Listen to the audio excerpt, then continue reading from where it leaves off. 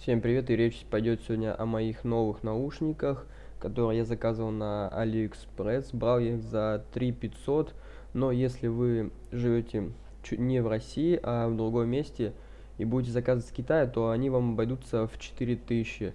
И вначале я хочу начинать с установки драйвера для этих наушников. Ссылочка на сайт, где я скачал эти драйвера, будет в описании. Там сразу увидите драйвер на наушники Redragon Helios. Ну и что я могу сказать в целом по дизайну? В целом очень хорошие. Качество на высоте, не скрипят. Э, у них также металлическое основание идет. Вот это оголовье, которое держит. Э, амбушюры мягкие, в целом неплохие. Что я могу сказать по микрофону? На данный момент сейчас этот видео записывается на этот микрофон. Провод у них в оплетке. И давайте заценим звук. Вот это у нас громкость идет на 50%.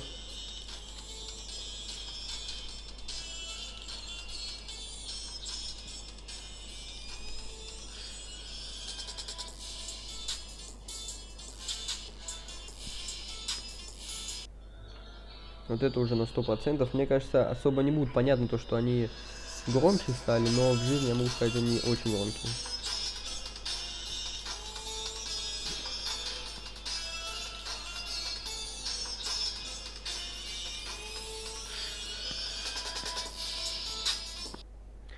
В целом, что я могу сказать, по удобству, если у кого большое ухо, то они вам не подойдут. Мне в целом нормально подошли поговорим о таком вот пультике управления на наушниках и в целом, что я могу о нем сказать.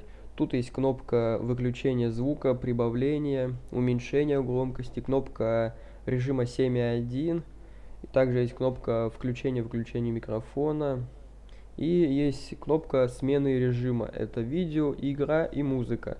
В целом там не особо что-то меняется, но если кому-то надо, пойдет. Также Хочу сказать, стоит ли их вообще покупать. Я лично скажу, что да. Есть предыдущая версия Red Dragon M602, по-моему, точно не помню. Они чуть получше то, что у них можно отсоединить основной провод, а у этого нельзя. Ну, как бы мне не мешает это. Мне самое главное, что они были громкие, удобные, и у них можно было отстегивать микрофон, потому что когда он мне не нужен, я его просто отстегиваю, убираю.